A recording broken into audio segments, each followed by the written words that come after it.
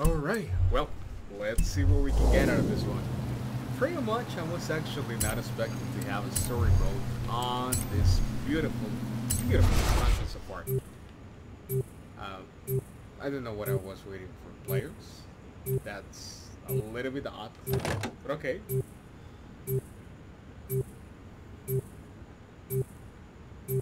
Um, I have absolutely no idea what is going on. Confused. Did I select the cooperation mode or something like that? Please don't tell me that I selected cooperation mode. There's no cooperation mode on this, right? I guess I'll find out quite quickly.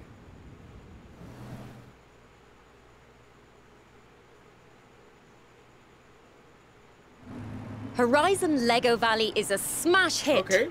Everyone here loves it. Weird, That's not the problem. Problem is, nobody at the UK festival believes it's real. They think we're faking it with normal-sized Lego. So, we're going to do an all-out Speed Champions PR blitz.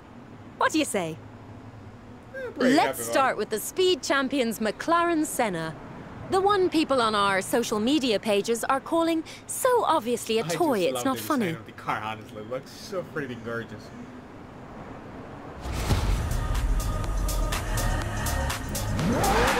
Now, show them how Horizon puts the speed in Lego Speed Champions.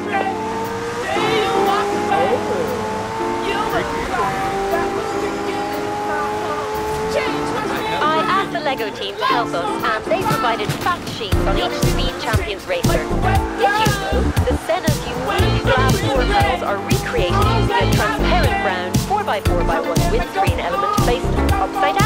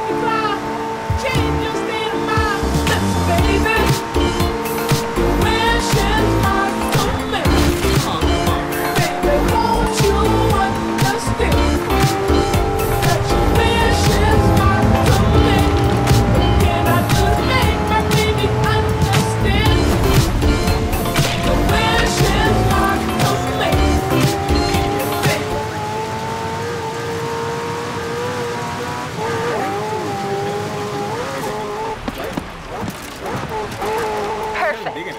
Nice drive. We'll get the footage shared on all our channels, and then we'll see what's obviously a toy. I dig it. Beautiful. Well done. Honestly, pretty well done. This is feels far more engaging than, than anything else. It reminds me a little bit of Hot Wheels, you know. Alright, let's take the second chapter.